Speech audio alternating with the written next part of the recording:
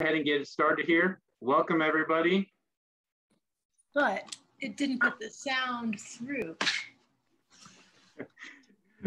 I'm calling the 1222nd meeting of the Entomological Society of Washington.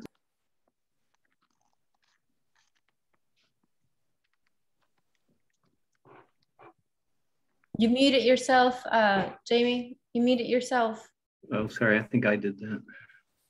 Oh, okay. Sorry. We're back I, on. I think I Did did, you hear anything? I changed your name to Ann Chazelle. But so I'm having trouble getting the sound to come through. Okay.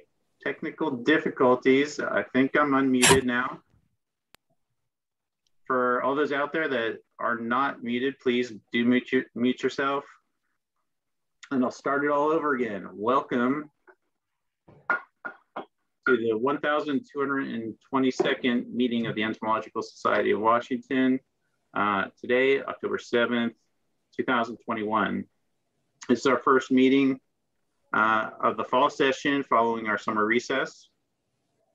Uh, please be aware that this meeting is being recorded um, and it'll be posted on YouTube. You can remain completely anonymous if you don't share your video, even though your name shows here in our live uh, Zoom meeting, your, your name will not show in the recording. So you'll be, remain completely anonymous if you want to. Um, and the so the recording from uh, from tonight will be available on our YouTube channel, and I'm going to put a link to our YouTube channel in the chat, which I just did. Um, it's also you can also go to YouTube and search EntSoc Wash DC, and you'll find our our YouTube channel there. That's got all of our um, talks that we've recorded over the past year since we've been uh, broadcasting over Zoom one sort of cool note is uh, I noticed our, our, uh, our, talk from April by Chris Simon of this year on periodical cicadas has been viewed 781 times, uh, which is maybe in the grand scheme of things not viral, but uh, it's kind of a lot for us. So that's kind of cool. Um, that was good to see. Okay, so first up for tonight will be uh, the reading of the minutes of the, of the last meeting, which was the um, our May meeting in uh, May 6, 2021. So I'll ask uh, Gary Hebel if you would uh, read the read the minutes of the meeting. Okay. the 1221st regular meeting of the Entomological Society of Washington was convened by President Jenny Zahniser at 7 p.m. on the 6th of May, 2021. The meeting was conducted virtually with some 45 members and guests in attendance. Record, recording Secretary Gary Hebel read the minutes of the April meeting and they were approved. Membership and Communications Secretary Elizabeth Young announced 11 new applicants for membership in the society. Sabrina Hughes, Alina Alvanasian, George Heimpel, Kim Snyder, Emmy Keogh, Judy Gallagher, Abigail Martins, Hazen, Buckley, Jeff Clark, Michael Merchant, and Tara Fresmo. Elizabeth read for the second time the names of Juana Maria Coronado Blanco, Ava Karen Serrano Dominguez, and Christopher Owen, who are now officially members of the Society. Program Chair Alan Norrbom introduced the speaker of the evening, Mark Branham from the University of Florida, whose topic was the evolution of bioluminescence signals in fireflies. Dr. Branham presented a review of his current research on fireflies, providing details on field studies that revealed relationships of species in this fascinating family of beetles. The meeting was adjourned at 9 p.m. Okay, thanks very much, Gary. Um, do we have a motion to approve the minutes? Okay, I think I see Lourdes raising her hand to a motion. Does somebody second the motion? Second. Second, the reading of the minutes are approved. Thank you. Okay, the next section is reports from officers and committees. Are, are any of our officers here? Do they want to give any reports?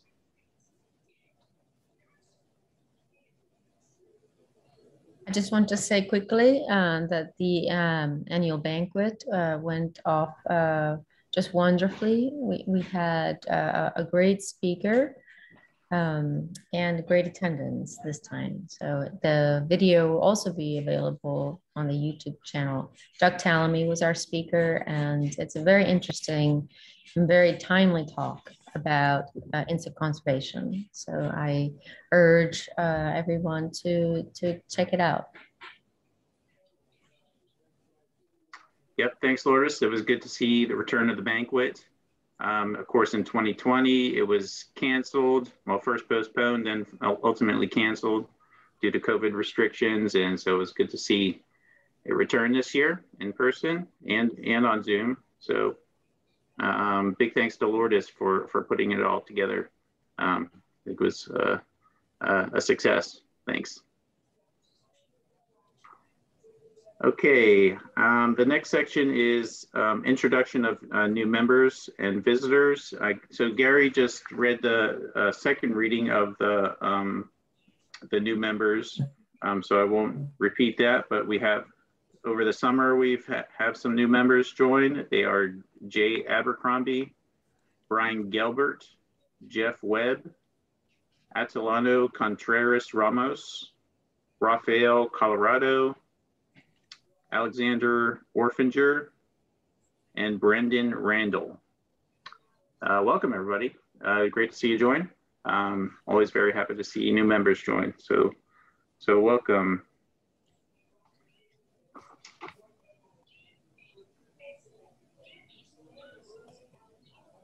Okay, um, moving on, our sort of standard progression of the um, of the uh, of the meeting. The next the next order of business would be any unfinished business. Does anybody have anything uh, withstanding from from from the past year that they want to bring up? Um, any orders of business?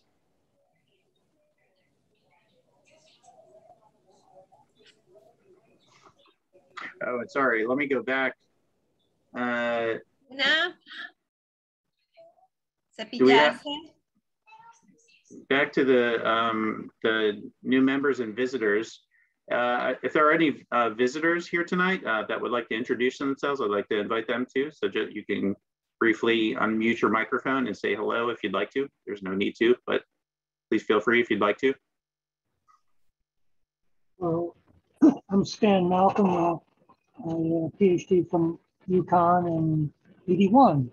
Um, did a bunch of other things, but in retirement came back to UConn as a volunteer and had a great time catching up on, on all that I missed. Great, thank you, Stan.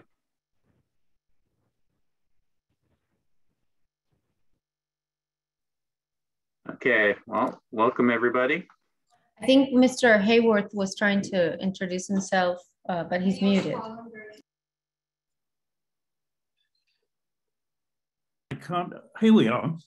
Yeah, I just wanted to say hello. I'm Dr. Martin Hayworth. I'm a research associate and volunteer, mainly dealing with Coleoptera in the Academy of Natural Sciences uh, in Philadelphia. Uh, I'm a retired academic physician and also a composer, which is my main second career with entomology as a lifelong avocation along with that. So nice to be a guest here. Thank you all very much. Thank you very much. Yes, thank you.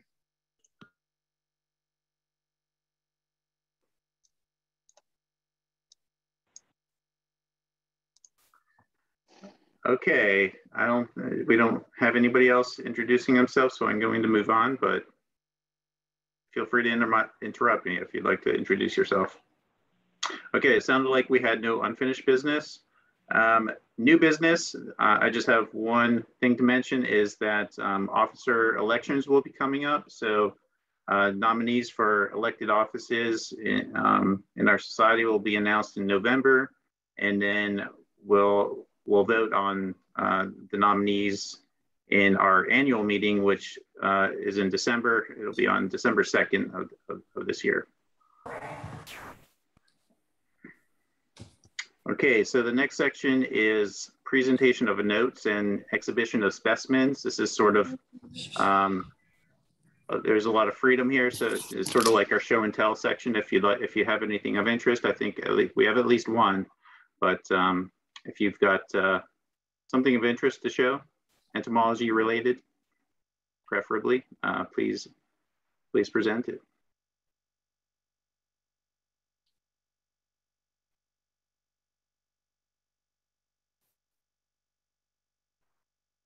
Al, would you like to go ahead and show your video? Yeah, sure. Um, this is actually um, one that Tina Litwack shared. Her son um, took this video sometime last week. Can you can you, you see that, Jamie? No, I think you need to share your screen. Oh, I didn't do that right, I guess. All right.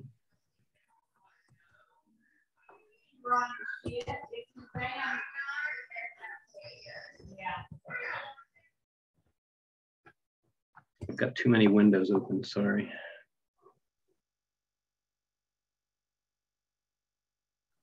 I don't know how to get rid of this one.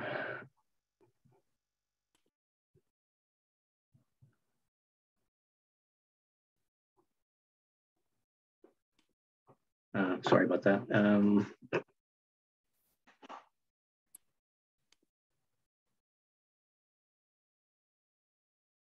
so I'm clicking on the green button. What else do I need to do?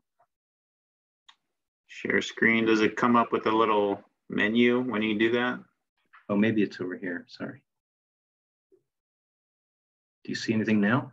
Yes. Okay. Sorry, everyone. um, sorry, Tina Litwack's son took this when he was out uh, hiking somewhere in the, in the woods, and uh, I thought it was very cool. I don't really know what they are, some kind of a Homoptera type uh, organism. I asked her if it, you know, was windy and they were, you know, blowing around. She said no, they were, they were just wiggling.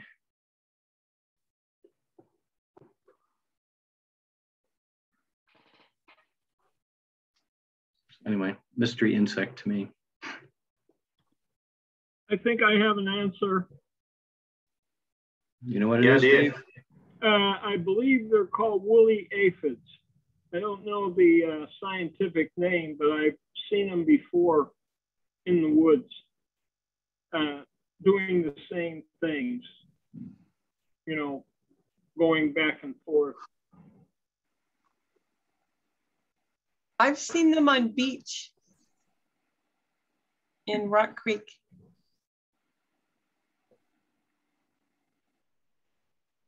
That's a cool video. Yeah. Guess we need to get Gary Miller to look at them and Mhm. confirm. Definitely. He's the one who told me what they were. So uh, yeah, he's he's the guy that talked to. Okay. Neat. Thank you, Al. Anybody else have anything they'd like to share?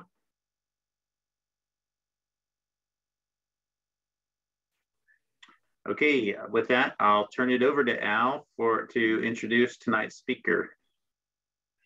Here. We would like to share one thing that we've gotten here Okay. in El Salvador. Um, we have we found this huge grasshopper. I don't know if you can see it. Yeah, we can. It's a big one. Yeah. We- We've seen a few of them flying around now, And- including at the baseball stadium. And um, we also found this. I don't see if you can see the colors, but it's bright pink and green. Cool. Um, we Is it a searched moth? it up on Google and we couldn't find anything. Is it a moth? No, it's a butterfly. Okay. But we'll get better pictures for next time. Thank you. Okay. Thanks for sharing. Yes, very cool. Thank you. Okay, well, I have the uh, pleasure of introducing our uh, speaker tonight. It's Dr. Akito Kawahara. He's the Associate Curator of Lepidoptera, uh, the McGuire Center for Lepidoptera and Biodiversity, uh, Florida Museum of Natural History in uh, Gainesville. And he um, has a BS from Cornell and his PhD from the University of Maryland with Charlie Mitter through the, MIXI program, which most of us would be familiar with. He was an NSF postdoctoral fellow at the University of Hawaii for starting his position at the University of Florida. His research interests are insect evolution, predator-prey interactions, and genetics. He's published over 140 peer-reviewed scientific papers, especially on the evolution of butterflies and moths. He also conducts research on ultrasound production and hearing in moths and echolocation in bats. He's published numerous papers on the importance of insects as models for nature education, including a highly popular article on the action items that every individual can uh, do to help in global insect declines. He's appeared in numerous films and television shows, including PBS Nature, um, David Attenborough's Conquest of the Skies, and my favorite title, Beetle Queen Conquers Tokyo. And tonight is, uh, he'll be speaking to us about evolution and diversification of butterflies and moths, anti-bat ultrasound jamming, acoustic, acoustic deflection, and visual lures. Great, thank you so much for the introduction. Um, I guess I could take it on from here, is that right? Yeah, please do, thanks. Okay, I'm gonna share my screen. Share sound. Think, let me know if you can see this. It's loading right now. Everybody see this? Yes. Okay, great. Um, so thank you for the introduction. This is great. Um, it's really it's really a pleasure to be here to um, give this talk in particular today because um, you know as a student at the University of Maryland many years ago, I remember coming to these uh, Entomological Society of Washington meetings and learning so much from all the amazing entomologists that uh, were there and presented. And um, to be able to do this now uh, is, is a true honor. So thank you very much for the invitation. Um, I also wanted to make this talk a little bit kind of with, you know, with Halloween coming up and things, I, I decided to make it a little bit more about bats and moths more than, um, more than some of the other research that we were doing. Um, but I will talk about evolution of Lepidoptera and things like that, but I will kind of focus a, a chunk on um, uh, bat moth interactions because of sort of the, the timing of the talk uh, in, in the fall now. So um, I'm at the University of Florida, uh, as introduced, um, and uh, I've been here for about 10 years. Um, and the, the presentation I'm gonna give today really is, um, you know, a lot of work by a lot of people that have helped. And uh, it's mainly people in my lab who have just contributed in so many different ways. And uh, without their help, uh, none of this would have been possible. So I'm simply really standing here just kind of showing some of the main results and, and um, conclusions of the studies that we have conducted. So just to give you a little talk outline, um, I wanted to start off by just talking a little bit about the McGuire Center. Um, it's a center in you know, at the University of Florida in, in Gainesville, and uh, a lot of people don't know what the center really is about, I think, and I just wanted to kind of give an overview about what the center is and what it is about. Um, and, uh, and then I'm going to move on to kind of go into the research portion of my presentation, which is the evolution of Lepidoptera. It's a huge group with 160,000 species or more um, and then talk about the moth anti-bat defense uh, section of my presentation. And then finally, I'm just gonna end with insect declines because I really think it's important. I know uh, Doug Tallamy gave a talk recently here, um, and I know others have uh, that, that have been doing this, but it's really, really important. And I think it's important to kind of uh, mention this again. So uh, just a little bit of overview about the uh, about the McGuire Center. So it's in some ways analogous to the I would say Cornell Lab uh, of Ornithology um, in Ithaca, New York, um, in the sense that it's an institution that's specifically devoted to the study of one group of organisms, and the group of organisms is butterflies and moths. And it's uh, the center is located uh, as part of the Florida Museum of Natural History, which is a department at the University of Florida. It's a department and a college in the University of Florida. So we're actually on the campus, and many of you might know this already, but uh, there's lots of students and, and, volunteers and so forth that work in the, in the museum. Um, and the McGuire Center, again, is one portion of that. And here in this picture is this butterfly rainforest. It's a big uh, enclosure where live butterflies and moths fly. and here, this is a picture during the day, and on the left is the large enclosure, and the collections and stuff are in the main building that's shown uh, straight ahead. Now, this um, center was founded in 2006, so it's relatively new. It's only about 15 years old. Um, and uh, the center includes um, some somewhere around 10 million specimens, maybe a little bit less than that, uh, and, and the rainforest that I mentioned. And it's all butterflies and moths, like. And it was um, it was put together actually by uh, somebody named Bill McGuire. Uh, was a he's a very well uh, wealthy uh, gentleman who who uh, donated a chunk of money to, to build the center uh, for uh, the study of, of Lepidoptera. And he himself was a lepidopterist when he was younger and he was studying skipper butterflies. And he wanted his, his specimens to go somewhere and also um, be uh, kept in, in a really uh, good place. And, and so he, he donated millions of dollars to build this center. And Tom Emmel, the, the late Tom uh, Emmel, passed away a couple of years ago, uh, was the founding director. And he was the one who managed the, the sort of the general upkeep in all the um, operations until mean, until its passing. And uh, in the center, it's a you know it's a it's a department in the museum in the university, so it's not enormous. It's not like a Smithsonian museum or anything like that, but it definitely has uh, a lot going on. Uh, there's a, a, wall of wings. It's a big wall of all these uh, insect images and pictures and uh, images and, and specimens, um, Lepidoptera images and specimens. Um, there's obviously like kids areas, called the butterfly. There's there's a discovery zone. Um, there's obviously the butterfly rainforest, which is the outdoor area where, where all kinds of butterflies and moths, and also there's lots of birds in there also as well. Um, and then, you know, uh, areas where you can actually view the lab. So my lab actually is an in-view lab as well. Um, and a lot of museums have this now where you can actually see the scientists doing work. So our molecular lab is actually an in-view lab and, and uh, the public can, can view it from outside.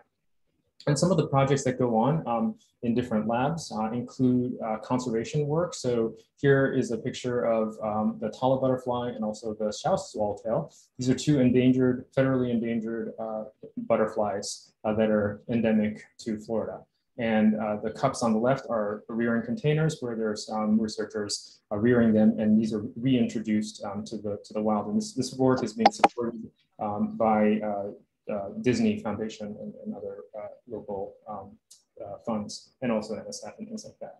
We also have like these these um, educational conference rooms and things like this for kids, and um, of course a, a very large Lepidoptera collection.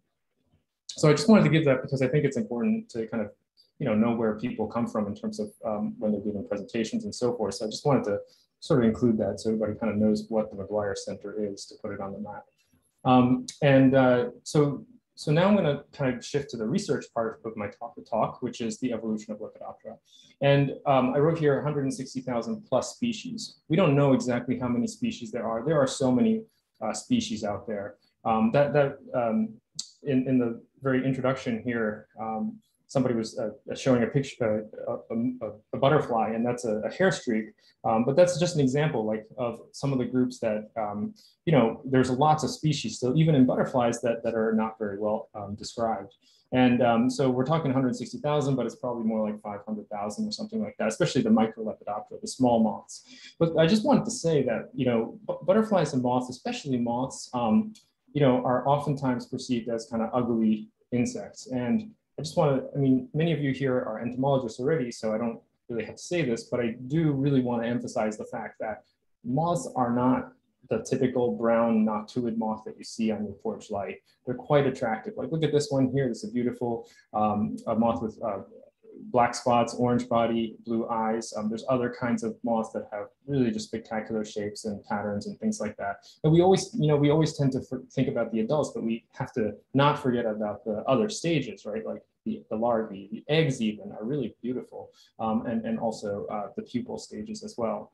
And um, this is kind of a pretty introductory for this group, but um, this image here just shows you there's 19 uh, lepidopterans shown here, and uh, all but five of them are moths. So, you know, what I'm trying to say here is that moths are also quite attractive, and it's not just the butterflies that are the beautiful, colorful uh, lepidopterans out there.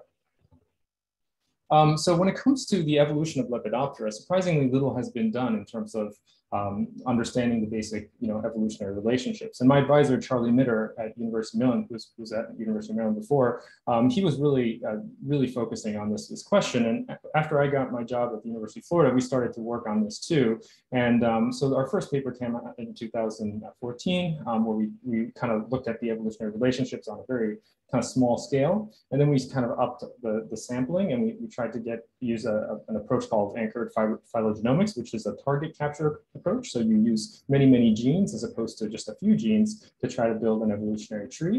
Um, and and um, there have been other uh, studies that have come out from Europe and also from the United States, other groups in the United States, um, but we all still haven't been able to do a very good job, I'd say, until, um, I mean, I guess I don't want to promote my own research, but one of the things that we really uh, tried, no one had really tried to do very well, I'd say, until recently is um, is uh, this, uh, you know, the evolutionary timing. So I'm getting an, a, a grasp of how you know, the butterflies and moss evolved over, over a particular amount of time. So here I include a, a QR code. I'm gonna really kind of speed through this and I'm not gonna talk about the details. And if anyone's interested in finding out the methods and stuff, you can, you can use the barcode on the screen to, to QR code on the screen to, to pull up the paper.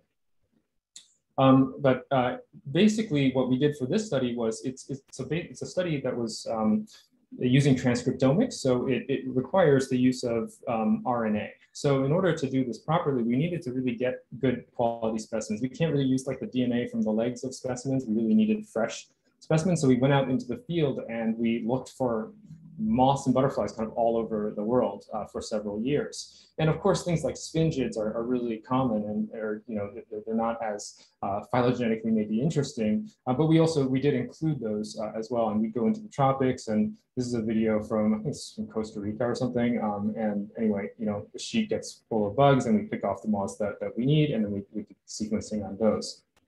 Um, so here's a specimen that we took in the field, and then we, we, got the RNA from that, and we built an evolutionary tree. And I'm not, again, I'm not going to go into the details, but the results are basically um, something like this. So this is an evolutionary tree of butterflies and moths that we built um, based on 2,098 uh, genes. Um, and, uh, and it's a representative uh, phylogeny, right? So it's not, you know, it's very difficult to get as lots and lots of species in big trees um, still and do a, really kind of uh, solid job of that. So what we did was we, we, we tried to get representatives from uh, all of the major superfamilies and families, and, and we built this evolutionary tree.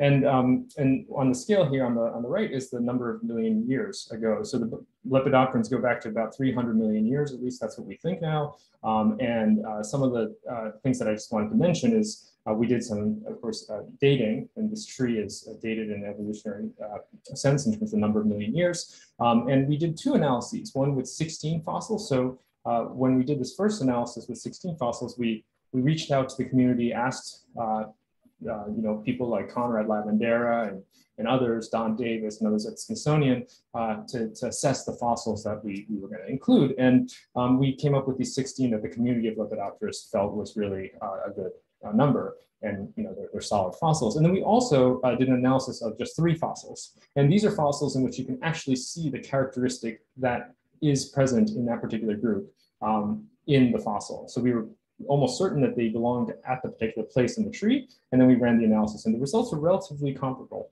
So I'm only going to show one of the results, but that's what we found here. And the what's neat about Lepidopterans is like the, the origin, the, the, the really deep groups or the, the most um, you know, the first lineages that kind of branched off are have mandibles. So most people think of butterflies and moths as having just a proboscis, but the proboscis is not in every butterfly and moth group, right? There's a few that have man mandibles just like trichopterans or, or the caddisflies.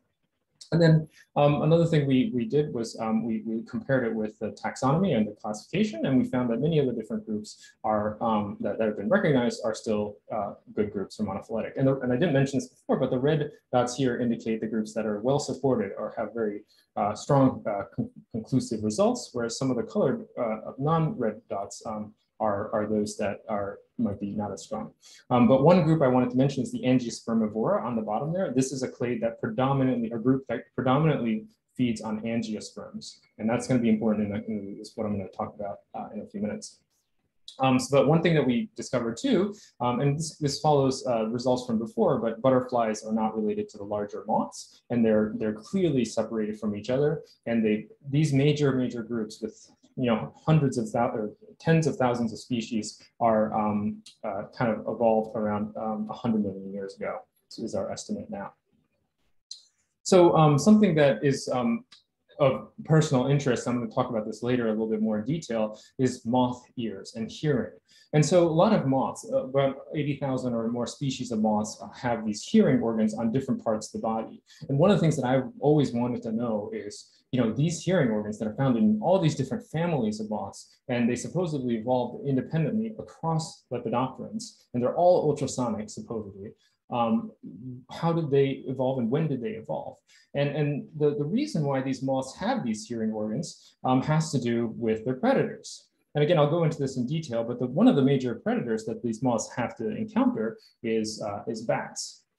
So when the moth is flying at night, they're flying around and they they get you know they, they get captured by moths and uh, excuse me by bats. And um, these bats consume you know nearly half of their body weight can uh, in a single night and they can eat that much. Um, so th this predator is extremely important in in um, uh, in moth evolution and these hearing organs seemingly evolved against them. And that's the hypothesis that we have been working with. And everybody's thought that hearing organs were evolved in, in the evolution of Lepidoptera uh, after bats evolved. So we tested this. So this round tree, the semicircle tree on the top here, is the same tree that I just showed before, same evolutionary tree, but kind of turned into half a, semi, you know, half a circle. And what you see are the little, little red dots, and the red dots indicate the origin of those hearing organs, at least you know five or six of them in on this tree. And what you see is the origin of bats uh, at 65 million years ago is um, after the origin of some of these major uh, groups of elected lepidopterans that have hearing organs. So that was really surprising because people had really, really thought that hearing organs in, uh, in moths came out after the origin of bats, and that doesn't seem to be the case. And what we think now is that it's probably that these hearing organs were there for some other function, perhaps to hear other kinds of predators, like the footsteps of um, rodents and things or, and other organisms, or maybe even for mating, because lots of moths use um, ultrasound for mating.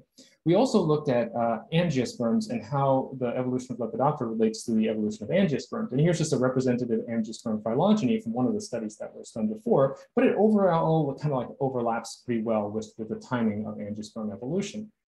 And we really wanted to test this a little bit more rigorously. So we looked at, uh, I'm not gonna get into too much details here, but we looked at seven different studies and that's, these are these bars across the, uh, across um, this, this uh, evolutionary timescale. And um, the what, what's in the purple here is the angiosperm uh, feeding plate credibility interval. And it's this, it's this area where uh, the, it's the origin of angiosperm feeding in butter, butterflies and moths. And it overlaps pretty nicely with many of these different studies for the origin of angiosperms from the angiosperm studies. So that was really um, good to know and, and sort of confirmed our, our findings. And uh, we also have a, an, in A here, we have a, this is a fossil um, uh, uh, pollen grain.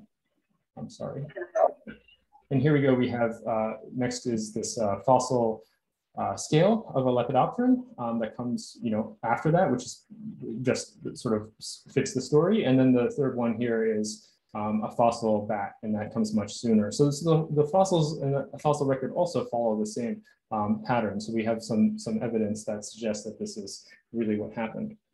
I'm not going to go into this too much, but with this evolutionary tree, you can do all kinds of really cool things. And what we're doing in my lab right now is looking at the evolution of color, like wing color. And I have a bunch of students and postdocs and stuff working on this. Um, and then wing pattern and shapes. Butterflies and have incredible wing patterns and, and shapes and things like that. And we have um, one of my uh, uh, colleagues just submitted a pretty big NSF grant looking at the evolution of silks and how silks are made in, in, butterflies and moths, like the genetics of silks and also, you know, the structure and, and the function of silks. And then we can also look at like uh, the genes. You know, one of the things I'm interested in now is how do butterflies and moths see and what's going on inside their eyes and you know what's the genetics of, of vision in, in moths and butterflies and acoustics as well how do moths actually hear and is, are there genes that are associated with um, hearing these bats and also things like olfaction, right? Moths and butterflies, really important to, for finding, uh, they have incredible antennae for finding um, flowers and, and their, and their um, also their mates and so forth. So those are kind of the areas of the research in my lab, and I'm just gonna highlight a few of these. So one of the grad students that's, that's wrapping up his PhD right now is working on the evolution of color. So using that evolutionary tree that I showed earlier, he has built his own evolutionary tree of underwing moths or Catocala. Many of you may know Catocala. Um, it's a really beautiful group of moths, and they have these hindwings that are colorful.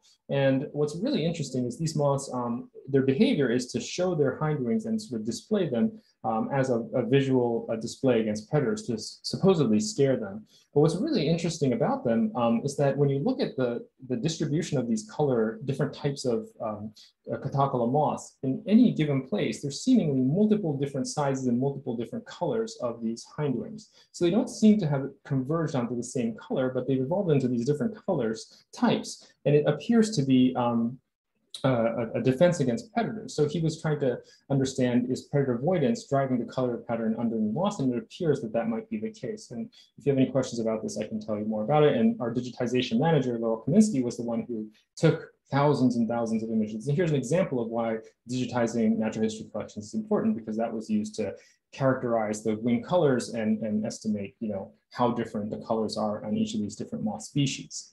Um, and then in terms of the genes and stuff that we're doing in, in my group, uh, my research group, was we're looking at, um, I have a student that's looking at a, uh, evolution of, of color uh, vision genes in, butterflies and moths. Um, and he's found there's all these gene duplications, really cool stuff happening, in, especially in butterflies. Butterflies are really interesting because they're diurnal. Um, but one of the fundamental questions is we still didn't have very good idea of flight activity and how flight activity, meaning you know whether diurnal or nocturnal, how that's actually evolved in, in the Lepidoptera. So what we did to, to solve that problem was we did a lab project where we went for three days. We went, so I'm in Florida. So we, we decided, okay, let's let's go to the beach. And this is pre-COVID, by the way. We didn't do this, you know, during COVID or anything like that. Um, but pre-COVID, we went to the, we rented an Airbnb and a bunch of us got together and we said, all right, let's, let's write this paper. For three days, we sat there with our laptops. We all worked together on the Google Docs and we wrote a paper. Actually, I cannot believe we did this. We wrote a paper in three days. We submitted it on the third day and we, we, we published it. But what, what the point was, was to understand the evolution of diel or, or day-night activity in butterflies and moths. And this is an evolutionary tree again on the left here. And we wanted to know what was the ancestor. Was it diurnal or was it nocturnal? And the evidence suggests that it was probably a diurnal or day-flying moth that was the ancestor of, butterflies and moths. And then we have these nocturnal uh, groups that sort of just all evolved um, afterwards. But there were shifts back to uh, flying during the day again, like in the, in the butterflies and, and a few other groups. So we got this information that was really important, but we still don't know much about Lepidopteran activity times. You know, we know maybe butterflies fly during the day and moths, many moths fly during at night, the night. But we can't forget that the night, the night is really complex, right? Not all moths, and, and this applies to all insects really, um, fly all the time during the night. There are different times when a moth flies, you know, or maybe the males fly at earlier in the evening and maybe later in the evening the females fly. But we don't have like any data on this. So my student and, and I, we built this, um, our, um, this uh, Raspberry Pi device. It's a basically a, you know, mesh insect cage and you collect bugs and you throw them in there and then the bug starts to move around and it detects when the, the bug is moving. And on the right here is the actual um, curve. So here you can see like this activity right here uh, in the night. Um, and this is the daytime. There's no activity of this particular moth and there's a lot of activity um, here at the very beginning of the night. So this is the early night and this is towards the end of the night. And we can start to compile these things. And this is what we're trying to do is to do this for as many insects as we can. So we can build these a database of behavior. When are these moths active and when are, you know, what are they doing? And the idea is to link it to, uh, what my interest is really to link it to bats because I have this hypothesis, I have this idea that I really want to test, which is that moths that have some defenses against these bats, I think are flying, you know, probably around times when bats are active.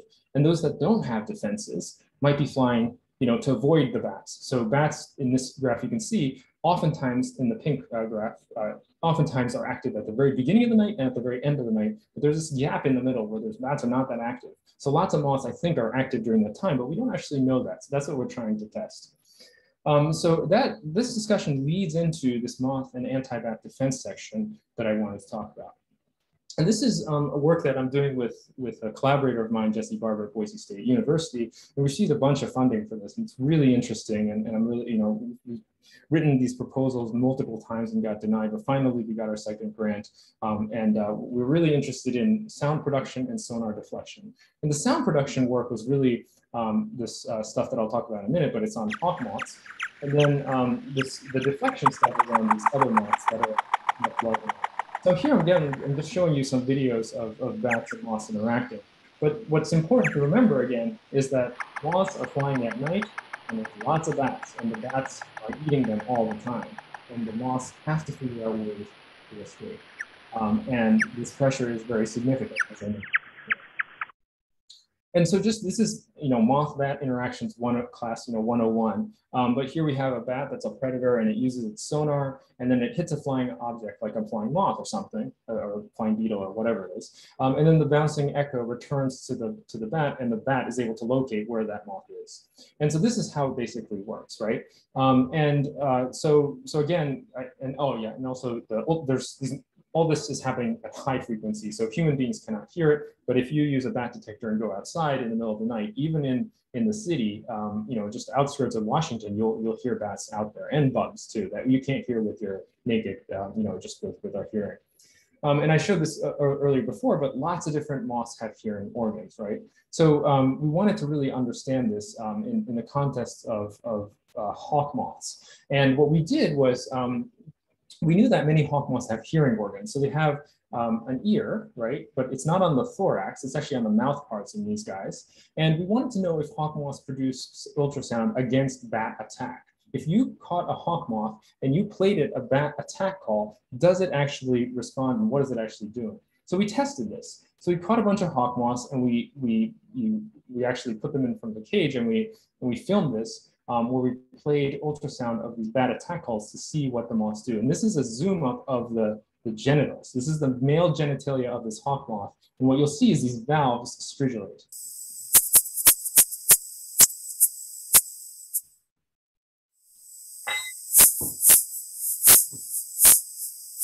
This is slowed down, but basically what's happening is the, the genital valves are moving back and forth and it creates ultrasound. And this is what they do in response to bats. So when they hear the bat sound, that's what they do. Oh yeah, and this is this stuff like, yeah, created a lot of sort of interesting articles and the public uh, websites came up like the second one, Kinky Hawk Moths rub genitals to ward off bats, Sonic genitals, a bizarre defense in the moth bat war. Uh, you know, it's it's it's great to see um, insects be publicized, um, but sometimes maybe it's a little bit too much. Um, but I guess, uh, so now going to the question of why did these hawk moths make sounds? You know, they're making noise when you play a bat call at a moth or at the hawk moth, it responds. They make noise using the genitals. So why? So we wanted to test this, and what we did was we did this in um, a lab. So this is in Jesse Barber's lab at Boise State University. You'll see a hawk moth in the middle, that's that dot, and you'll see in this video, this bat will swoop up to this area um, where the moth is, and then it doesn't catch it, and the moth, and the moth, sorry, the, the bat flies away. So if we uh, play this back um, at a very slow motion, uh, what you see is the bat is coming up from below, and it's going up towards the moth, and what you see on the bottom too is the recording of the, the echolocation call. So you see all these pings here, and then this sudden wall of noise that is created. And this is the hawk moth using its genitals to make an extremely loud noise, and then the bat fails to catch the, the moth. And so what's happening here, and we did this with many trials, but that wall of noise that the hawk moth is creating is essentially an obstruction. The, the, bat can't locate the precise location of the moth because the wall of noise is so loud and the moth is producing the noise in response to the echo. So the returning echo is cannot be detected because there's too much noise. And that's how they seem to escape. So that's why they make this ultrasound. And, the, and I, as I mentioned, hawk moth genitals are doing this. And here's a, a bunch of different species of hawk moth genitalia, laterally, uh, lateral views. And you can see these scales are just super modified and weird, right? On the left, we I, what I have is this, on the upper left is this uh, slide that says no organ or picture that says no organ. That doesn't have anything, but these other ones are modified into some really bizarre um, uh, scales and they, they rub them with the genitals. So as we were doing this hawk moth work, we also were, you know, just interested. We were in the field and bugs were coming to the, you know, to the mercury vapor light. So we were just collecting them and we were watching what these moths were doing. And we did this with other insects too, by the way. And we placed these moths in front of the, the speaker and the microphone, and we would play back the, the bat attack and we just record this over and over again with every, any moth that we can actually test this with. And this was kind of a side project at first, but it sort of ballooned into something much bigger. And what we discovered was that it's, it's amazing. Lots of different kinds of moths produce ultrasound. And here in this screen, what you just saw was there's little pings across the white screen. And what that is, is the, the, the sounds of the moths um, making noise against the bat. And um, so we found out that pyralid moths make anti-bat sounds. So here's a species called Mittonia hampsoni from Africa, and they have the structure, it's a, it's a tegula that seems to be stridulating um, and producing ultrasound. Uh, moths, um, you know, the typical moths that you oftentimes see in, you know, in your yard and stuff, um, they have on the sixth abdominal segment a structure that uh, seemingly, um, or it, it's not seemingly, it definitely does, um, make large noise uh, when you um, when you play back fat attack. Um, and this produces ultrasound, and they're like jets that point backwards towards the abdomen of the moth. So we did this over and over with all these different groups, and we have, you know, we, we discovered that there are many different kinds of ways that moths produce ultrasound, and and the and the types of uh, calls are really really interesting too. And it's lots of different kinds of moths that do it. It's not just hawk moths. It's not just also tiger moths, which I'll talk about in a second, um, which which is the main group that has been studied. But it's really really complicated, and it's really really interesting. So here, what we we have is um, just this is just a slide of what we think are acoustic mimicry rings. And this is really not very well studied, and, and it's my like I'm very interested in this. Um, but anyway, what what Jesse and, and his lab and, and, and, what we've been working on is um, looking at uh, these different sound calls and then clustering them on the left uh, in the in the uh, diagram on the left over here. And what you see is you see these kind of clusters of, of little uh, groups, and they're unrelated moth groups, right? So these are all different kind of subfamilies and families and stuff. And what you see is um, sorry, I should go back. Um, they cluster into different uh, uh, little clusters, and there's one over here. And we wanted to know, are, are these palatable? Maybe these are acoustic mimicry rings and there's a there's a model like you know a monarch type of thing in one of these groups that is toxic and maybe that's why everybody wants to sound like a particular moth so we actually tested this. So we wanted to know, are moths that make sounds edible to bats? A very simple question. So we while we were in the field, we would catch the bats too, and we had to go through, like Jesse's group did all the IACUC work and everything. But anyway, we would, we would catch the moths and we would feed them to the bats and see what they would do. So here's a moth that is very palatable, very tasty. This one, however, um, you can see this bat just does not want to eat this moth. It shakes its head and says, no way, this is really gross. I do not want to eat this moth. So we, we figured out, okay, there's lots of uh, toxic moths in this, in this group of moths that make sounds. And so the little red dots here indicate those that are toxic, and these are unpalatable mimicry rings. They're Müllerian mimicry rings, apparently, what, what appear to be Müllerian mimicry rings. And then here we have a, a palatable moth mimicry ring. Uh, I think there's probably, you know, there's only 13, uh, 33 species in, from one location in Ecuador that we tested over one visit. Um, my guess is there's a model in there that we just don't know. Um, so what, what this is seemingly um, telling us is that there is, you know, these unrelated species are converging onto these acoustic mimicry rings, and there's possible Müllerian and basically a base Batesian uh, acoustic um, mimics and mimicry rings occurring. And I think this is so cool. Like this is, you know, I, I like, you know, Heliconius, I like you know, monarch butterflies, but moths are, are like, oh my God, they're so much cooler, I think.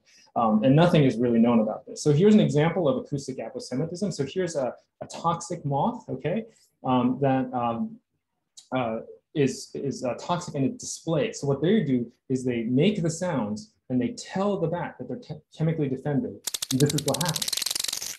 The moth is making sounds here at the bat. And the bat comes up to the moth and decides not to eat it. So this shows that the bats are learning that moths that produce certain types of sounds are inevitable, inedible or not good tasting. And that's why we think these all these moths have converged onto these different types of calls and, and are talking to bats in many different ways. So um, the last kind of section I wanted to kind of quickly talk about is um, the, the, these Saturniid moths, right? These are wild silk moths of Saturniids the really interesting about this moth group is that they have no ears, no sound. They don't even produce sounds. You know, they don't have any toxins. Supposedly, some some taxa do, but most of them don't. Um, and they don't even have mouth parts. So these guys have nothing except big body size. So what is their defense? When you know what what how do they defend themselves against bats? So I'm going to talk about sonar deflection now, which I think is really interesting. Um, something that we discovered uh, fairly recently. And this this whole story kind of begins back in Borneo in 2014. So one of my uh, graduate students at the time and, and a bunch of us went into the field and we set up a, a mercury vapor light and, and this moth uh, uh, came to the light or one of these uh, moon moths relative came to the light. And anyway, it, it, came to light and we all looked at it and thought, wow, this is a beautiful moth, you know? And the student said, you know, why, why does this moth have tails? And none of us actually knew.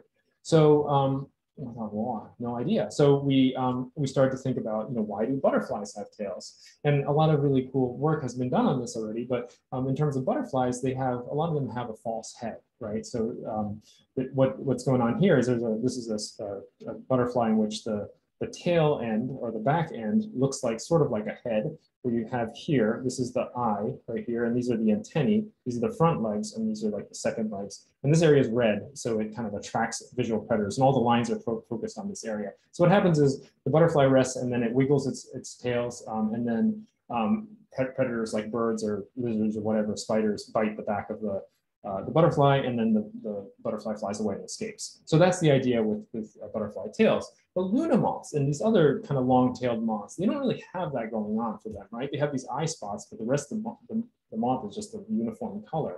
So what is their defense? We really wanted to figure this out. And so we got kind of um, uh, creative. And what we, or what we first did was we started to just fly, we reared a bunch of these Luna moths and, and we just watched them fly. And what we, what we found what was really interesting is that the tails actually spin. So the tails, if you look at, this is from the side, this is a side view, but if you look at it from the back, the tails are going around in a circle like a fan. So we're like, whoa, this is really, really interesting. Um, and uh, so yeah, the tails spin like a fan, and we wanted to know, okay, what is going on here? So maybe, you know, when we look at it, uh, it looks like a fan spinning, but what does a, you know, predator like a bat see when they see a moth, you know, or they, they hear a moth uh, flying? So uh, a Luna moth like this. So here we have the tail and the hind wing and the forewing, and imagine this a moth like this in this ori orientation. Um, and what was done was um, the, the moth was placed uh, in, a, in an acoustic echolocation uh, chamber. So a chamber was built specifically to understand how the moth flies. And so here's the tail, imagine the tail here and the hind wing and the forewing here. And when you play this, this is kind of what it looks like. So the red areas are the areas where there's most of the echoes are kind of coming off of the moth as it's moving around. So what you see is that the forewing, the hind wing, and the tails are all kind of important, but the tail actually has a really, really high amount of echoes coming off of this, this portion. So then once we found that, we're like, whoa, this is really cool. Maybe the tails of these moths are deflecting the bat echoes away from the main body, and that's maybe an anti-bat strategy. So what we did was we did this experiment where we, we put these moths um, and we pitted them against bats. So these are Luna moths in the lab, that are flying around, um, and uh, some of them have tails and some of them don't have tails. So this is what happens when the moth has tail, the tails. The bat comes up, rips the tail off, and doesn't seem to get grab the body, and the, the, the moth escapes. So if you look at this statistically, this is kind of what this looks like. Um, but you have uh, about, so if you present uh, moths with tails, they're only eaten about 30% of the time by bats. That's on the bottom here. And the image on the top is when you present a, a moth that has removed its, had its tails removed already, and then you present it to a bat, it gets eaten about 80% of the time. So these tails are clearly defensive strategies against predators like bats that use sonar. So one of my students is really taking this to the next level, and she's, she's been using museum specimens. So again, she's, she's using these digitized images and trying to characterize the tails across all these Saturniid moths. And um, what's really interesting is that there are definitely evolutionary transitions or, or, or um, sort of uh, shifts to longer tails, which also you know, supports the idea that over time, there's more selection towards longer and longer tails. And she also did this experiment where she uh, extended the tails of, of some of these moths. And, and again, we saw much higher um, uh, survival rate when the tails were longer. Oops, sorry. Um, and now what we're doing, oops, this is another video I want to show real quick. Um, now we're looking at moths as they fly and the aerodynamics of flight. So we're working with some physics researchers, looking at how the moths move their wings and what actually happens to the tails and how much of the wing can actually be removed and how much is actually useful for, for predators like that. So that's kind of the next step that we're working on right now. There's a really cool paper that came out last year, I think it was last year, um, by Tom Neil and others. Um, and they discovered, uh, based on the, the, the, the, the, species that they studied, that um, moth's hairiness, right, the, the scales on the wings and, and, the body are not probably there for just for uh, thermal regulation, like keeping temperature high for the moth, but actually it absorbs sonar. So when bats uh, you know, when the sonar hits a furry moth, it gets absorbed. It's kind of like absorbed. It's kind of like an invisibility cloak, you know, in Harry Potter. So the moth becomes invisible against the pack. So we think that maybe those those hairy moths have evolved in that way to uh, go against predators like bats. So now I'm gonna, um, this is my very, very last part, which is the insect declines. And so why does this kind of like all matter? Why am I gonna say, talk about this? Well, I, I wanted to say this because I know many of you already uh, know this, but it is really important. I'm just gonna kind of emphasize this. So there was an article that came out in the New York Times Magazine several years ago, talking about the insect apocalypse. It gained a lot of publicity. It's been over, it's actually more than 150 papers now on this topic about how insects are disappearing and there's been reviews and lots of research on fireflies and, and moths and butterflies and all kinds and beetles, everything, bees, you know. Um, and I, I, really like to show this picture because I think it is really telling. This is Dan Janzen's paper in, um, uh, in PNAS this earlier this year, where he showed a picture of um, a moth sheet or an insect sheet in 1984 versus 2019, um, roughly the same time, same place, same lights, and the, the setup is very different. And, and we do see this kind of, as many of us know, all over kind of the world. And so why does this really matter? And um, so this is the kind of the opinion piece, this thing that I'm going to uh, talk about. Um, but uh, it's of course, you know, this is I think something that all of us should know. Um, when you're in, you know, on an airplane or wherever, I mean, I guess right now, not many of us are traveling maybe still, um, but if you are, um, if you have the opportunity to tell people and somebody asks you, why are you an entomologist? I would say you should memorize this. You know, insects provide $75 billion a year for the US economy. This is pretty well known. Um, they are extremely important. Obviously, vegetables, fruit, coffee, even is, you know, chocolate, like all these things are insect uh, pollinated. Silk dyes, honey, a lot of robots that are being designed are designed off of insects. Um, and even the coronavirus vaccine. Some people don't realize that uh, a moth is used to, to um, as one of the, um, the proteins from one of the moths is used as a, um, one of the steps for building the, uh, the vaccine. Um, and uh, insects benefit us in, in, many different ways, and I always refer to the five Ps, and this is in that paper that I just mentioned. Um, but uh, they're, they're, pollinators, they're prey, they're physical decomposers, they help progress in science and technology. And, uh, and, what I think is also a very important one is provide pleasure. If you stop and you look at moths and insects in general, they're just really beautiful and they're amazing, right? And they provide pleasure. And then when you think about these kinds of numbers, and this number you know, has been debated in the literature, but if really 40% of all the world's insects are going to go extinct, extinct in the next few de decades, we have a really serious problem, right? And, and um, what I just kind of mentioned is in this particular article that came out earlier this year, um, but there are, you know, eight action items that I think are really important. And I just kind of wanted to just mention those here. You know, we want to create insect uh, friendly habitats, convert lawns into lawns into diverse natural habitats. But Doug Tallamy talks about this all the time, but I really think it's important and we all should be doing it. Let's let's not forget, you know, let's not just put it aside. Like let's do it. You know, I just converted my backyard into a natural habitat. I stopped mowing it, you know, and and things like growing natural uh, native plants, reducing pesticides, so pretty pretty basic things, but we really should do them. Remove or limit the use of uh, ex uh, exterior lighting. Um, this is also an important one, uh, removing or lessening the soap, uh, soaps from washing your vehicles and washing um, buildings and stuff. This should not be done. We should use uh, alternative soaps, which are available, which I talk about in the paper. Um, and also this is about ed education, but increasing awareness, right?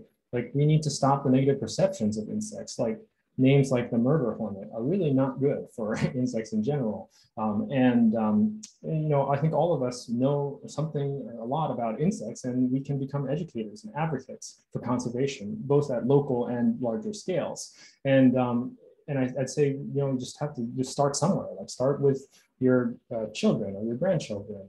Um, and then finally, you know, getting involved in local politics, supporting scientists and, and science and, and also voting. And I just want to say by you know, as, as, somebody who has my you know kids now, um, I really, really think it's important to really help kids love insects. And it really doesn't require that much time. All you have to do is go out there and show them the natural world because there's still a lot out there. And all the things about, you know, moss and ultrasound and all this kind of stuff wouldn't have happened for me if it wasn't for my father, who was the one who, who um, took me outside and showed me the world out there. So I hope that all of us can do that.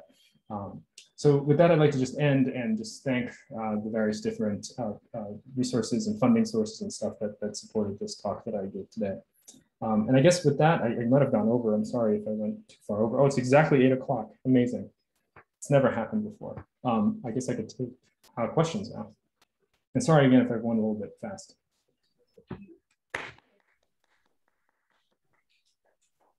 No, that was great. I think we could have listened to you for a lot longer. Oh, really? I took out like, I thought I was going to go way over. So I took out like 20 slides like an hour ago.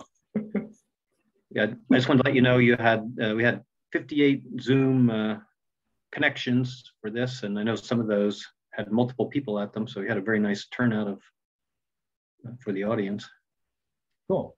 Um, maybe I can start by asking you a, a question. Um, sure the whole talk was really fascinating. But um, there used to be this creationist um, argument against evolution that you know, like the eye was too perfect an organ to you know just have evolved de novo. And um, I was just worrying about all these you know tympanal organs and all these different maws and all these stridulatory organism uh, uh, organs. Like, have you thought like what the precursors for some of these things might have be might have been like? How did they possibly evolve? Yeah, so um, it's a very good question. I mean, I, I, think, you know, for the genital stridulatory organs, like the ones that these hawk moths have where they stridulate their genitalia, um, I think, yeah, it was used primarily for mating, but because of bats or whatever that took off, um, you know, or whatever the other predators might have been around, they, they switched, you know, the use got sort of, there's another new function associated with that structure. Um, but I really think, you know, I mean, this again is just lepidopterans I'm speaking from, um, but I, I, think, you know, I think about beetles a lot lately and I think about flies and stuff. And, you know, it makes me think that they're probably doing similar things, right? They're nocturnal flies, there's obviously nocturnal beetles and stuff. And, um, you know, they must be dealing with this somehow as well. Like scarab beetles, for example, they're super slow flyers. Like, so what is their defense? Like, and we find scarabs in, in bat poop, so they're getting eaten to some degree. Um, so stuff like that. Just I just think about this a lot. I think it's um, really interesting. But there's definitely precursorial uh, functions that existed that I think were shifted around you know 60 million years ago or so when bats started to kind of really take off. So there was uh, one question in the chat from uh, from Danny. It says, in your experiments, does sound production by the moths occur only in response recordings of a feeding buzz, or will they respond to signals, or sorry, will they respond to recordings of earlier signals? And then if the latter, are there different species specific reactions to CF or FM signals? Oh, wow. Okay, very, very specific question. Um, am I still screen sharing? I can't tell. Uh, I'm not, okay. Okay, I don't think so. Um, so uh, so yeah so bats um, have two different types of calls. They have or there's actually two general types of calls cf and fm bat calls. Um, so the, these the, the research that was done um, in these different places uh, used uh, three different calls actually four different calls cf fm and kind of a combination of both and also a synthetic uh, call.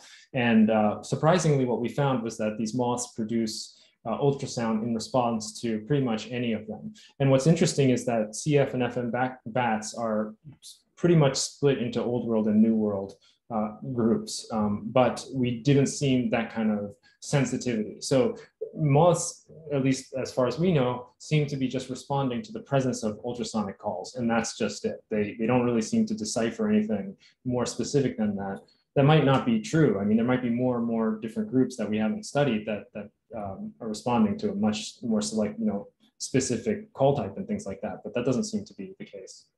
I don't know if that answers the question, but um, yeah.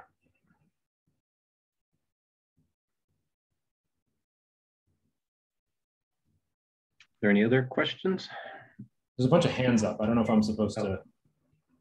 Yeah, I don't know. I guess you I can. think you can unmute yourselves, right? If, if they want to ask.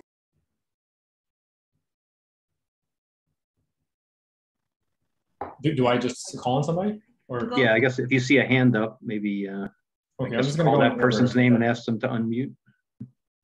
Sure. Uh, Jill. Thank you. I wasn't first in line. I was going to say let oh, Bree go, but that's okay. Okay. I um, noticed that you mentioned the importance of reducing runoff of soap from washing vehicles And can you please talk more about that? You know, what specific impacts of Yeah. soap runoff on moths? Because I Yeah, haven't heard that too much. I know. Yeah, so I didn't really talk about that. I mean, this is kind of like tacked on at the very end, but I do think it's really important. So I, I shared that stuff with you. Um, but in the paper, we talk about specifically, you know, what kind of um, chemicals are in the soaps and things like this. But what the, the, you know, the bottom line is basically when you wash your car and you use the sort of the typical synthetic soaps that exist in, you know, um, in places like Home Depot or wherever, like auto, um, advanced auto parts or whatever, that, those kinds of places. Um, the soaps uh, contain toxins that uh, do not uh, degrade very quickly and they end up running, you know, basically they just go into the soils. And then there's been a lot of different studies that have shown the impact on aquatic insects. So it's not really lepidopterans in particular, but it's more the, the rivers and the streams nearby.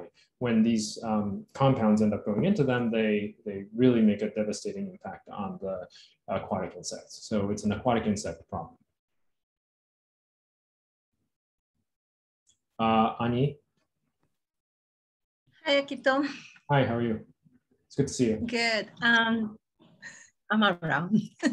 uh, I have two questions. The, the first one is, well, like in butterflies, we have the eye spots, but we also have um, the butterflies that look like the trees or the, the dry leaves. Um, do you see something similar with the acoustic mimicries? Like the first videos that you show was like this really wall of noise that would look like, I don't know, like an analogous to the eye spots or something like that. Yeah, so Um, that's a, that's a really interesting question. So um, I think, you know, so the, the moths in general that are nocturnal are, you know, they, they, they're, a lot of them, you know, it's not, not a lot of visual cues are being used, right? So it's all pretty much auditory, right? So um, what seems to be happening is we don't really see kind of like anything analogous to like an eye spot, but the jamming signal, for example, is a long wall of noise, a very, very consistent amount of large noise um, that you see in tiger moths, you see it in hawk moths, we've seen it in some other groups too.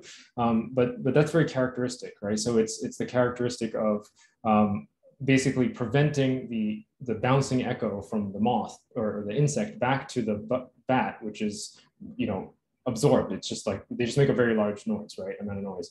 Um, and others are more specific, like warning calls are very, very distinctive. So tiger moths make these very, very unique calls that they can do because they have these tymbals, these structures on the thorax that allow them to produce these sounds that are very unique. And those sounds are warning to bats, and we know that already.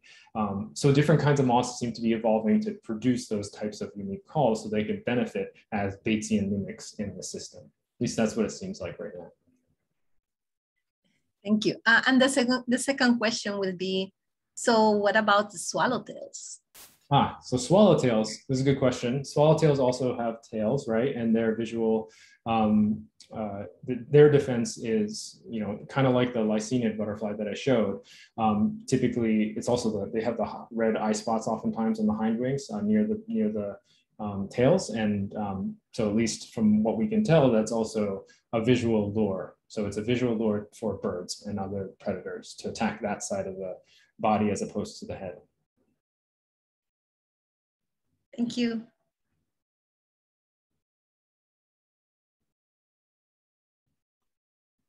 Any other questions? I could ask one more. Um, sure, yeah, yeah. Akito, um, you mentioned uh, Tom Emmel in your uh, introduction, and uh, I, ha- I had a chance to interact with him a little bit, and he seemed like a real, you know, mover and, and shaker. And it's, you know, too bad he passed away. I, I think didn't he pass away on a trip somewhere? And uh, Yeah, so it was very unfortunate. It was very sudden. Nobody really expected it at all. He was on a trip to, I think it was Brazil, um, and uh, yeah, he just passed away in sleep. And um, I was just curious how you guys are, you know, making out with fundraising and things like that. Is that yeah, so the museum is taken over, and, and it's like you know we're doing as much as we can. And uh, you know, there's a big lepidopter community. There's a lot of butterfly people uh, out there. Um, so it's still continuing. Um, and you know, it's unfortunate that Don passed away, of course. But we have new leadership um, that's stepping in and stuff like that. And the director has changed. Keith Willmott's the director now, and uh, I think in 2023 I'm going to move into that position. So I think I don't know. I think there's there's change, I guess, and it's not necessarily maybe bad. I don't know. Mhm.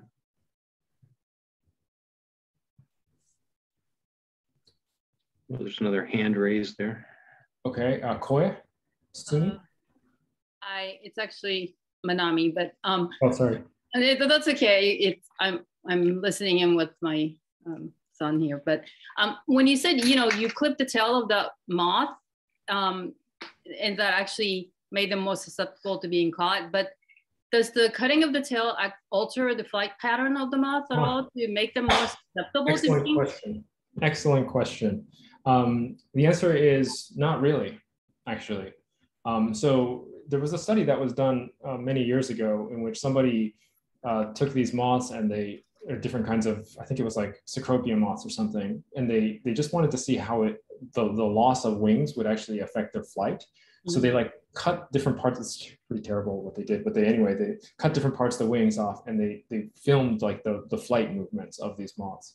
Um, but you can remove large chunks of the hind wing, almost all of the hind wing, and the moth still can fly relatively well. However, if you do the same thing to the forewing, especially the leading portion of the forewing, which is the front vein area, the moth and butterfly cannot fly almost at all. So there's certain parts of the wings that are more important than others, and the hind wing is seemingly not as important as the forewing, and especially the, the tail end or the, the back end of the of the hind wing is is is not you know is expendable, and that's why I think these moths have evolved these tails and other kinds of things going on there. Some of them have like jagged wing edges, and some of them look like leaves and stuff, um, but that's not really seemingly important for flight. It's more important uh, as a defense or, or you know camouflage or something like that. Those kinds of things are uh, more relevant there. So once they lose them, then the next time they're That's right. So that's a very good point. I mean, they have they have two tails, and this is actually something I've wondered about. You know, some butterflies and some other moths they have more than two tails. Some of them have four, right? These elaborate uh, things, like the, the butterfly that I showed a picture of, actually has six tails. So you know, maybe maybe the reason why they have so many is because you know you get bit by a predator, and then oh yeah, you lose one or two of them, but you still have two or four of them or whatever left over, and then you can still you know you have better survival. Um, we don't know this, but I, I suspect that there's some some element of that happening there. cool. Thank you. Very Yeah. interesting. Nice. Yeah, talk. I guess. Yeah, yeah. Thanks. So one other thing I wanted to just mention that I think is really interesting is that these these long-tailed moths, right, like the very very long-tailed moths, um, they have these like uh, the the tips of the moth tails are actually um, white or or, or um, yellowish, and if you look in the collections, they're just always seemingly always like that. And um, I didn't talk about this at all, but it also it actually I think has to do, or we think it has to do with vision. So bats can actually see contrast. So there's a there's not just echoes that are coming off of the tail, but there's also contrasting like light that comes off moonlight. And I think the bats are lured to that area because of the the contrasting colors of the, the tail versus the very tip of the tail, which is very different. Hey Matt, good to see you. Hey. sorry. Hey. We enjoyed your talk very much. It's good to Good see see you. everybody. Yes. Um, are there any other questions? Or are there are these questions in the chat that I need to answer or something? Sorry, I haven't been paying attention to anything. There's there's a lot of comments about how good the talk was there, but uh, I don't Oh, know thank if you. there's any more questions. Somebody else raised their hand. Um, Is there uh, Fred? Yes, thank you. How are you? Thank you so much. Uh, excellent talk. I, I was just curious. I don't know enough about bats, but when you were talking about the toxic moths, and I know there's quite a few of them that exude some pretty, pretty uh, distinctive uh, odors that we can smell very easily on your fingers if you handle the moths. Can bats sense that when they're flying? I love these questions. like most of the questions, I I- my answer is we don't know. Like we don't know. Like yes, we know that bats can I was smell. wondering if olfaction plays a role. Oh, yeah. I don't know. I mean, and my guess is probably right. I mean, Uh-huh. yeah, you're right. Like some of these like tiger moths and stuff, like they smell really bad. And beetles, like maybe that's what it is. Like with the beetles, maybe they just stink, right? Like maybe like the scarabs and stuff. Maybe they fly really slowly because they smell like poop, and bats don't want to smell that, and they just like give up because they smell so bad. Or maybe they're like, you know, I don't know. Yeah, like, they just smell bad. I, I have no idea. It's a great question. We don't know, but somebody could do an experiment. I mean, Yeah, it's actually I- not like impossible. Yeah. If you've handled enough Arctic moths, you know how pungent they can be. So I just wondered. Thank you. No, that's a great question. Um, and it's making me think a little bit. I'm gonna like start to after this talk. I'm gonna look into some stuff. I think so. I'm kind of now curious about that. Great. Thanks. Any other questions? I don't see any more, so um, thank you so much. We really appreciate you uh, joining us tonight.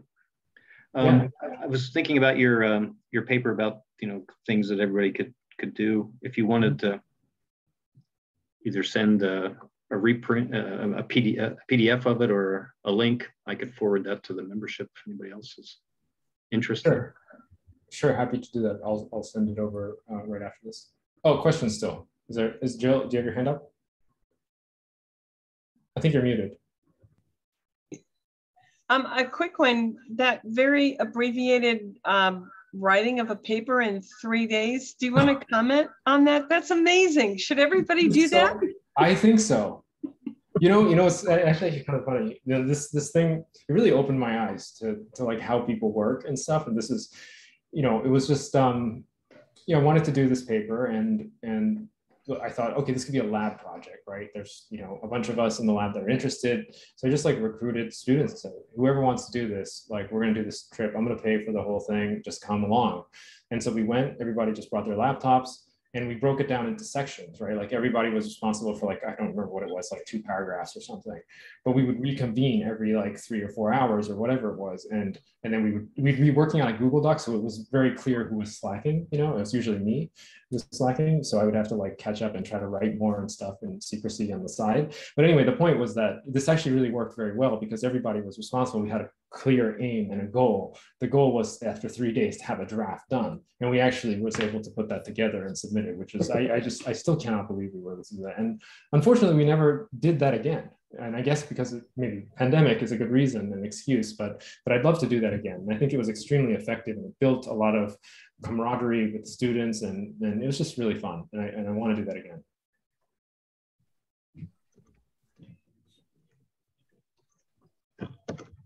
Another question. Fred, is your hand still up?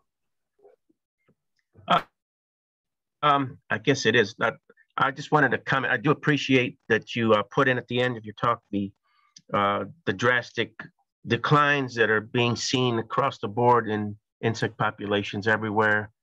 I've been reading some papers that came out of uh, the West area with Art Shapiro doing transect studies and NABA data that is being included and the the losses they they're pinning it uh, try or trying to make some kind of um, connection with climate change and it appears that there's quite a bit. And of course, when you start looking at the botany and how plants get affected by drought and all that, and that extends directly to the Lepidoptera and many other insects too. So uh, thank you for, for bringing that up and, um, you know, just being all, all, those other aspects of stewardship and uh, trying to do public awareness. I do that all the time. I can't stand it when I go to Home Depot and I see those pesticides on gallons of it. Buy two, get one free. Kills everything in your yard right away, you know. Oh, And, and that's the society we live in, unfortunately. But thanks for all the commentary on that. Yeah, no I problem. have, to, I have to agree with Fred here. This is Matt. Yeah, the, the I think the the what I loved about your paper, Keto, is it, it gave you like these are the things you can do because it, it empowers the reader instead of this um, oh my gosh we're never going to overcome this it's like these are the things you can do we can all do this and i think um, it's it's about time to really start um, putting the the rubber to the road with this stuff and Yeah, we have to. I totally agree with you. and try to get the message out. And and I think you know entomologists are the key players here because we have the most to kind of lose. And you know um, people love love their birds. You know, so this is uh, I think is we just need to keep the message going. And and also I think the other thing about your paper I, I appreciated was it's not it wasn't so doomsday because that also doesn't work. because people just go, well, then we're screwed. It's too late, you know, and and you have to give them some hope. I think. Yeah. I, I totally agree. I think um, you know there, there's there's things we all can do, right? And I tell my daughter this, and you know, it's important to you know think about uh, planting trees in your yard and, and like let's go look at the bugs and, and and like just even you know she brings her friends over or whatever and we look at bugs together and like that kind of stuff the the, the knowledge transfer to, to children um, as entomologists and natural history people i think is so so fundamentally important and um, we just need more people in the world that really care about the natural world and i think um, bugs are really great because they are they are literally, you don't have to worry about anything. You can handle them. You don't need permits all the time and all this kind of stuff. You can find them in your backyard, right? You can find them on your porch. Uh, they're just, and all you need is, is just like some little bit of time and just look at them, you know, and not think of crushing them or going to Home Depot and just eliminating everything because that's not really right. You know, we they were here before we were, right? and so, yeah, it makes it. I, I think it's a very good point, uh, and Fred too. Thank you.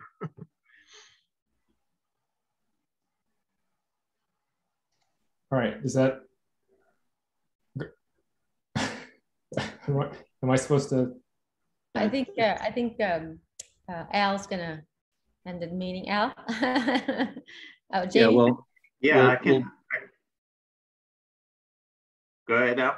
No, uh, that's fine. Go ahead. I just wanted to say thanks again. We're all we're all clapping. Uh, you can't hear it, but you did a great, It's okay, you, great you job. We really appreciate it. pretty, you know, booing me, it's okay, I understand. I don't take it personally. Well, I guess there's like a clap, clap and a thumbs up signal that uh, symbol that people can put on. I don't know how to do that myself. but- Yeah, thanks so much, Akito. That was a great talk. Yeah, Really thanks again. it. It's really great to be with you guys too. I mean, I know it's a virtual, weird kind of setting, but um, yeah, I miss, I miss like, I spent a lot of time there as a grad student and yeah, it just makes me think about that society, like you guys' society. It's great. So keep up the good work. Yeah, it's been it's been kind of a mixed blessing because like we never thought about doing Zoom before. So now like, you know, lots of our members who aren't local can participate. So we're gonna try to, you know, keep a hybrid system going once we can go back to in person. It sounds great. Keep up the great work. I'd love to join and listen to some more talks sometime. Thanks so much. Thanks again, Akito. Um, so just before we finish up, I just have a couple quick announcements. The next meeting will be Thursday, November 7th, or excuse me, November 4th at 7 p.m. The speaker will be Dr. Julia Urban from Penn State University, and she'll be presenting some of her research about the spotted lanternfly. So should be one of definite interest to a lot of people. Unfortunately, I'll be away um, for that meeting. So our um, president-elect, Lourdes Chamorro, will be leading the uh, leading the meeting. And with that, I, is anybody have any last comments or um, anything else before we adjourn?